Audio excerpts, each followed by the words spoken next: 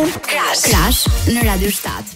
Miq të Radio 7 jemi sot në studio me Dr. Erwin Lutzer, pastor emeritus në Moody Church. Për 36 vite ka qenë pastori kryesor në Kishën Moody dhe me një përvojë shumë të gjatë radiofonike me programe, autor i më shumë se 70 librash, ka qenë i pranishëm në Shqipëri dhe gjithashtu ka qenë pjesë e programit tonë edhe vitin e kaluar. Është kënaqësi e veçantë të mund ta kemi edhe sot në studion tonë për të folur për një temë shumë të rëndësishme, sikurse është lutja. Pastor Lutzer, mirë se vjen në studion tonë. Jam shumë i gëzuar që jam këtu dhe teksa shikoj punën që Perëndia po bën këtu në Shqipëri. Kur e mendon, ju patët rizgjimin e madh në vitet 1990 dhe 1991 dhe të mendosh se sa shumë ka ecur kisha që prej asaj kohe dhe se si është rritur, është mbresëlënëse. Dhe sigurisht, të jesh pjesë e një medie të tillë që arrin kaq shumë njerëz, prandaj kjo na gëzon së tepërmi. Dhe është një privilegj që ju vizitoni Shqipërinë për herë të dytë. Tashmë mund të quheni një mik i shqiptarëve. Po një nga gjërat që unë dhe bashkëshortja ime kemi kuptuar është se jemi shumë të mirëpritur në këtë vend. Ju jeni një popull tejet mikpritës. Sigurisht, ne pëlqejmë dhe gatimet tuaja të shijshme, por akoma më shumë, na pëlqen bashkësia me besimtarët e tjerë dhe të jemi në kishë. Teksa shikojmë se ka një brez tjetër që po çon përpara ungjillin në këtë vend, është e mrekullueshme të jemi këtu. It's wonderful to be here. Ne do të dëshironim që të dëgjonim rreth një teme shumë të rëndësishme për ne si besimtarë. Bëhet fjalë për lutjen. Si mundet që të lutemi me ndikim? Dua t'ju tregoj se fillimisht kur u martuam dhe u bëmë me fëmijë, do të lutesha për fëmijët e mi si shumica e prindërve, Perëndi, të lutemi që ti t'i bekosh. Ne lutemi që ata të jenë të shëndetshëm. Ne lutemi që ti t'i mbrosh në mënyra të ndryshme. Dhe më pas bën të njëjtën lutje ditë pas dite. And so there are many people who just repeat the same prayer. Dhe ka shumë persona që përsërisin të njëjtën lutje. Zot, bekoji fëmijët tanë, drejtoji ata, udhëhiqi, ruaji nga i ligu. Problemi me këtë lutje është se shumë shpejt kthehet në një lutje rutinë dhe të mërzitshme, për shkak se po thua të njëjtat gjëra në të njëjtën mënyrë. Pastaj dikush më prezantoi me lutjen sipas shkrimit. Dhe kur lutesh sipas shkrimit, është shumë e gëzueshme, sepse lutesh çdo ditë për gjëra të ndryshme, së paku çdo javë. Dhe madje lutesh për gjëra të cilat nuk i ke dëgjuar kurrë më parë, gjëra që ti i di që Perëndia i dëshiron. Kaq shpesh në fund të lutjeve tona ne themi, Zot, bëje këtë nëse është vullneti yt. Kur lutesh sipas Shkrimit, nuk ke përse e mbyll me frazën Zot, nëse është vullneti yt, sepse ky është vullneti i Perëndisë. Dëshiroj që t'ju jap një shembull. Në librin e Filipianëve, apostulli Pal thotë këtë në kapitullin një dhe vargu nëntë, Dhe për këtë lutem, që dashuria juaj të teprojë gjithnjë e më shumë në njohuri dhe në çdo dallim, që të dalloni gjërat më të mira dhe të mund të jeni të pastër dhe pa njollë për ditën e Krishtit. Amen. Filled with the fruit of righteousness that comes through Të mbushur me fryte drejtësie që arrihen me anë të Jezu Krishtit për lavdi e për lëvdim të Perëndisë. Ne duhet të bëjmë këtë lutje për fëmijët tanë dhe në fund nuk ke pse thua nëse është vullneti yt. sepse këtu ne kemi vullnetin e Perëndisë. Dhe kjo është një lutje kaq e bukur, që të mund të dalloni gjërat më të mira, që të jeni të pastër dhe të panjollë për ditën e Krishtit, dhe që të jepni fryt për lavdinë e Perëndisë. Prandaj, ajo që duhet të mendojmë është se si të lutemi sipas shkrimit. Nëse do ta ruani këtë në mendjen tuaj, do të zbuloni se kudo gjatë leximit tuaj të Biblës, do të gjeni një sërë gjërash për t'u lutur për fëmijët tuaj. Dua të them, të mendoni për psalmet. You know, even last night when I was finding it difficult to sleep, I Për shembull, mbrëmë e kisha të vështirë që të flija dhe citova Psalmin 23. Por a e dini se ju mund të luteni sipas këtij psalmi për fëmijët tuaj. Zot, unë lutem që ti të jesh bariu i tyre, Unë lutem që ti t'i drejtosh ata në kullotat me bar të njomë, që ti t'i udhëheqësh ata. Prandaj kur filloni të luteni në këtë mënyrë, nuk po lutesh për të njëjtën gjë vazhdimisht dhe vazhdimisht, por po lutesh ndryshe dhe po lutesh sipas vullnetit të Perëndisë. Kjo gjë ishte transformuese për mua. Prandaj tani kur lutem për fëmijët e mi, do të marr një pasazh nga Shkrimi. A e dini se apostulli Pal kishte 12 apo 13 lutje të ndryshme dhe ju mund të luteni sipas tyre. Dhe për ju që po dëgjoni, nëse pyesni se si t'ia filloj, tek Filipianëve, kapitulli i parë, siç e përmenda pak më parë, ose gjithashtu mund të shkoni dhe tek letra drejtuar Kolosianëve. Or you could also go to the book of Colossians, for example, he says this, and so from the day we heard, Për shembull, ai thotë këtë, Prandaj dhe ne, nga dita që e dëgjuam këtë, nuk pushojmë të lutemi për ju dhe të kërkojmë që të mbusheni me njohjen e vullnetit të Tij, me çdo urtësi dhe mençuri frymërore, që të ecni në mënyrë të denjë për Zotin, që t'i pëlqeni Atij në çdo gjë, duke sjellë fryt në çdo vepër të mirë, duke u rritur në njohjen e Perëndisë, duke u forcuar me çdo fuqi. sipas pushtetit të lavdisë së Tij. Pra, po i them kujtdo që po dëgjon, lexo lutjet e apostullit Pal dhe fillo nga aty. Pasi t'i drejtosh këto lutje do të zbulosh gjatë leximit të zakonshëm të Biblës, të vërteta sipas të cilave mund të lutesh. Po mendoj për shembull për predikimin në mal. Më vjen në mendje ndërsa po lutem dhe po mendoj në këto momente. A e dini se kur Jezusi tha, "Lum ata që janë të urtë, sepse ata do të trashëgojnë tokën." dhe lum ata që janë të pastër në zemër. Lutuni sipas këtij shkrimi për fëmijët tuaj. Dhe do të zbulosh një mënyrë të re lutje, sepse fëmijët tanë sot po përballen me tundime që ne nuk i kemi pasur, si interneti, smartfonat. Ata janë të bombarduar nga bota, dhe ajo që duhet të bëjmë është që të kuptojmë se jemi në një betejë frymërore. dhe bëjmë mirë që të lutemi.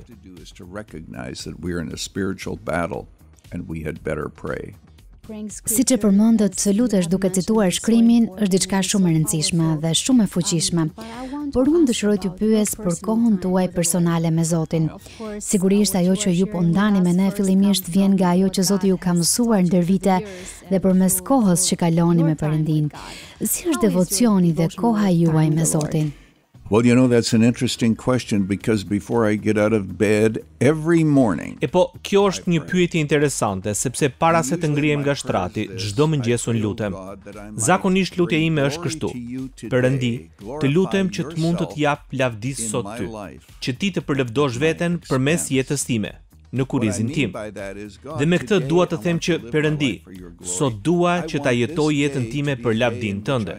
Dua që kjo ditë të jetë një ditë përmes së cilës të të nderoj ty dhe të mos jetë një ditë përmes së cilës të nderoj veten time. Zakonisht, kështu fillon koha ime në lutje.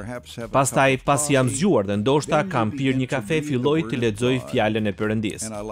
Më pëlqen të lexoj nga një kapitull çdo mëngjes. Shpeshherë, Brenda atij kapitulli gjejmë një lutje ose diçka për të cilën mund të lutemi. Ka shumë njerëz që luten, por për ta janë thjesht uh, fjalë. Ajo që dua t'u them të gjithëve atyre që po na dëgjojnë, është se lutja nuk është thjesht çështje fjalësh. Lutja është një veprim nënshtrimi ndaj Perëndisë. Është një çështje pendimi. Po ju them një lutje që duhet ta bëjmë të gjithë. Më heto o Perëndi dhe njihe zemrën time. Më provo dhe njihi mendimet e mia dhe shiko nëse ka tek unë ndonjë rrugë të keqe dhe më udhëhiq nëpër rrugën e përjetshme. Me këtë mënyrë Perëndia heton zemrën tonë. Ne duhet të kuptojmë se lutja nuk ka të bëjë vetëm me mua që po i flas Perëndisë, por është edhe Perëndia ai që na flet nëpërmjet fjalës së tij. është mënyra të cilën Perëndia e përdor që ne të afrohemi me të dhe të lidhemi me të. Prandaj në mëngjes, shpeshherë, unë lutem që ta ndiej praninë e Tij, lutem për bekimin e Perëndisë dhe për favorin e Perëndisë. Por e di që lutja nuk është thjesht çështje fjalësh, por është çështje e zemrës. Dhe kjo është arsyeja pse Jezusi u tha farisenjve, Ju e adhuroni Perëndinë me fjalët e duhura dhe i thoni gjërat e duhura, por zemra juaj është larg meje. Pra, me anë të lutjes, Perëndia arrin në zemrën tonë dhe sigurisht kjo është shumë e rëndësishme për t'u lidhur me të. And that's of course very important to mm. connect with him. Si besimtarë, sa rëndësi duhet t'i kushtojmë lutjes dhe veçanërisht kohës sonë personale në lutje? Epo, sa herë që ka patur një rizgjim shpirtëror, sa herë që Perëndia ka bërë ndonjë vepër madhështore, gati gjithmonë këto gjëra janë paraprirë nga lutja. Nganjëherë, ne nuk arrijmë të shohim përgjigjet e lutjeve tona.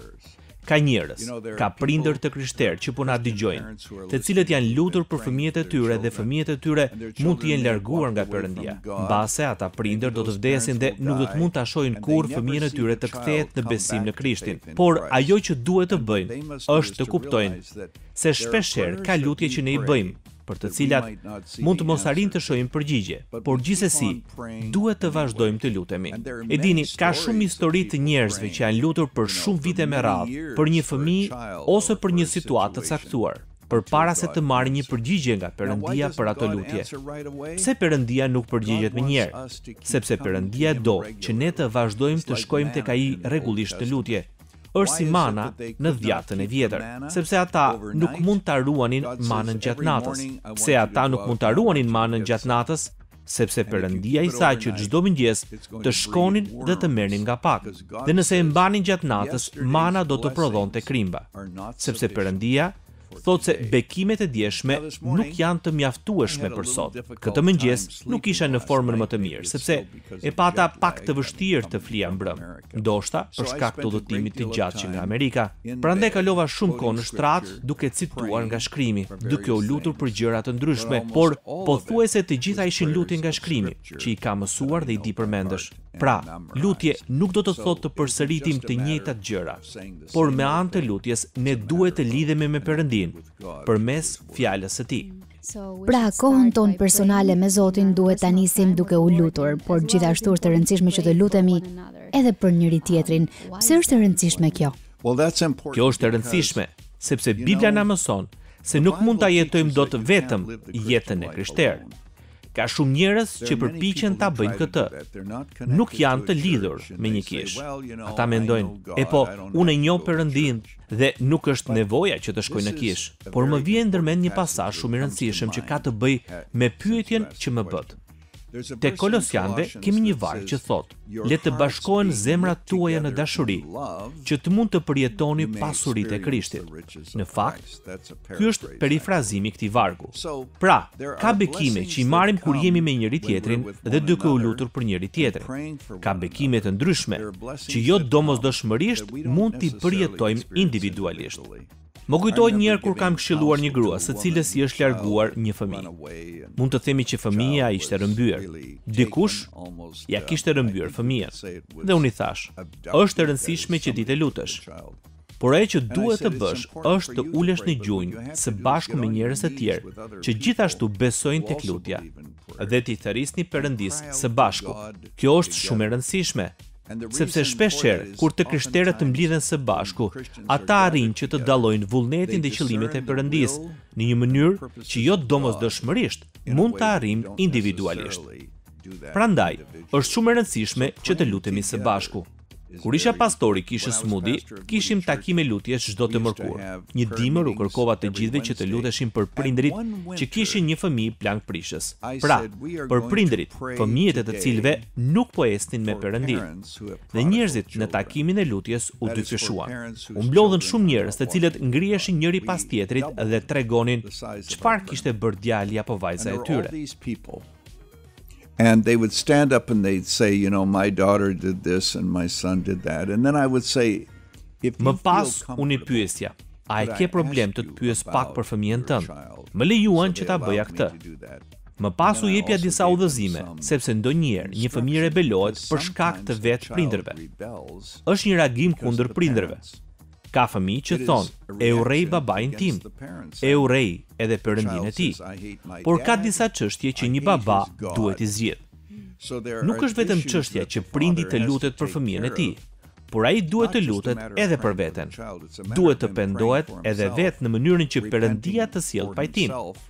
Pra, lutja ka shumë aspekte të tilla dhe ne duhet të jemi të vetëdijshëm për këto. Hmm. Ju përmendët se Bibla na mëson se është shumë e rëndësishme që të lutemi për njëri-tjetrin. Duhet të lutemi për nevojat e njëri-tjetrit, duhet ta kuptojmë se duhet ta mbajmë njëri-tjetrin në lutje dhe gjithashtu duhet të lutemi për fëmijët tanë, por shpesh mendojmë se nuk është aq e rëndësishme që të lutemi për qytetin tonë apo për qeveritarët. Por çfarë na thotë Bibla për këtë? Në fakt, Bibla na urdhëron që ta bëjmë këtë. Bibla na urdhëron që të lutemi për mbretërit dhe për ata që kanë autoritet mbi ne. A nuk do të ishte e mrekullueshme që gjithë atë kohë që e kalojmë duke i kritikuar drejtuesit qeveritarë ta kalonim duke u lutur për ta? Sepse të gjithë e dimë se shpesh ankohemi për atë që po ndodh dhe shohim gabimet e tyre. Por imagjinoni pak transformimin që mund të ndodhë, nëse të krishterët fillojnë të thonë, A e dini çfarë do të bëjmë? Ne fillojmë të kalojmë kohë në lutje për këta drejtues. Pikërisht këtë na kërkon shkrimi që të bëjmë. Për sa i përket lutjeve për qytetin tonë, sigurisht që shembulli më i mirë për këtë është Abrahami, i cili ndërmjetësoi për Sodomën dhe Gomorën. Perëndia nuk i dha saktësisht ato që Abrahami kërkoi, por i dha atë që ai kërkoi. Nuk jemi në kundërshtim me veten tonë, për sa i përket kësaj. Kur Abrahami po lutej për Sodomën dhe Gomorën, në të vërtetë ai po lutej për Lotin dhe familjen e tij. Ai i kërkoi Perëndisë që të kursente qytetin, por Perëndia nuk e kurseu qytetin, por Perëndia kurseu Lotin dhe familjen e tij. Prandaj të lutesh në emër të qytetit është shumë e rëndësishme. Mendoj se është më mirë që të bëjmë lutje që janë më individuale. I think it's better to pray prayers that are more individual. But one of the reasons that I knew about Albania Një nga arsyet se pse mësova për Shqipërinë është një njeri që quhet Adi. Ai është një shqiptar që kishte ardhur në Amerikë dhe e kishte pranuar Krishtin si shpëtimtarin e tij. Gjatë një takimi lutjeje në Kishën Mudi, njerëzit kishin ardhur dhe ishin ulur në karrige. dhe fillova t'i pyesja se cila ishte kërkesa e tyre për lutje. Më pas u mblodhëm në një rreth dhe u lutëm. Dhe Adi më kujtohet për shkak të diçkaje. Ai nuk na tha ndonjë kërkesë personale për lutje. Ai na kërkoi oh, që të luteshim për Shqipërinë. Mbaj mend që i thashë: "Oh, Do që të lutemi për një vend të tërë? Dhe ai tha, Po, a nuk ju duket interesante që tani, shumë vite më pas, Adi vjen dhe udhëton me mua këtu? Ja ku jam, në Shqipëri, duke ndarë ungjillin. Pra, lutjet që kemi bërë në atë kohë, po përmbushen edhe sot. Ju keni shkruar shumë libra, por në librin tuaj, Lutja që sjell ndryshim, ju thoni se mungesa e lutjes është mëkat. Pse pikërisht mungesa e lutjes është mëkat? Epo, arsyeja pse them se mungesa e lutjes është mëkat, është sepse Samueli ua tha këtë popullit, kur ai po i thoshte lamtumirë popullit dhe po i jepte udhëzime. Kam harruar saktësisht se ku ndodhet ky pasazh tek Samueli, por ai thotë, sa për mua, mos ndodhtë kurrë që unë të mëkatoj kundër Zotit duke hequr dorë nga lutja për ju, sepse është mëkat mungesa e lutjes. Sepse duke mos u lutur, ne jemi duke thënë, nuk kemi nevojë për Perëndinë gjithë kohën, mund t'ia dal edhe vetë. Pra, lutja është një çështje varësie nga Perëndia. Prandaj është kaq e rëndësishme të lutemi. Dhe nëse i themi vetes, unë mund të mbështetem tek Perëndia pa u lutur dhe pa shkuar para tij, kjo është një formë krenarie. Pra mungesa e lutjes është mëkat, kështu ka thënë Samueli. Është një bekim që ju jeni këtu me ne duke ndarë për lutjen dhe duke i bekuar dëgjuesit me këto mesazhe mbi fjalën e Perëndisë. Ju thoni se është thelbësore që të lutemi në vullnetin e Perëndisë dhe për qëllimet e tij. Që të lutemi sipas vullnetit të Perëndisë. A mund të na e shpjegoni pak më shumë këtë? Well,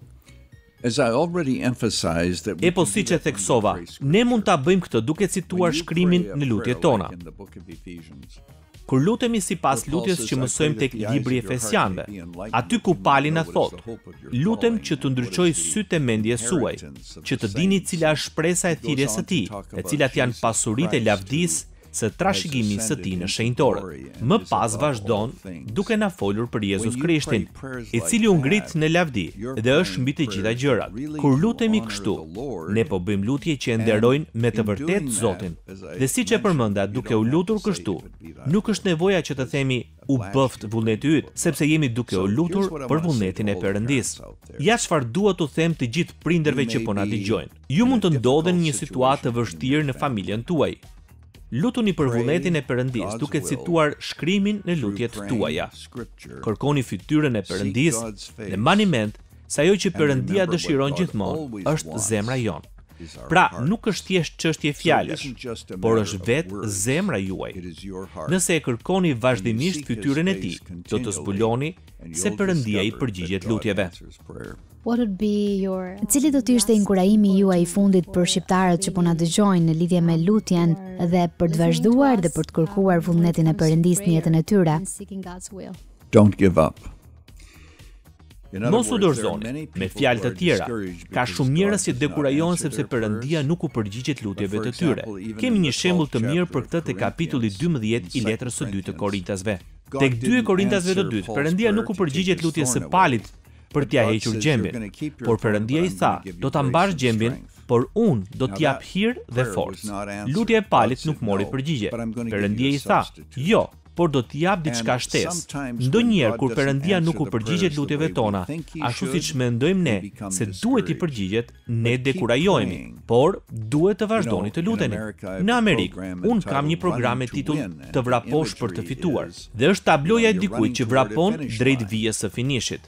Le të kujtojmë gjithmonë se vija e finishit është vendi ku duhet të përqendrohemi, duke parë drejt Jezusit, Autorit dhe Plotësuesit të besimit tonë, që të mund të vrapojmë me sukses.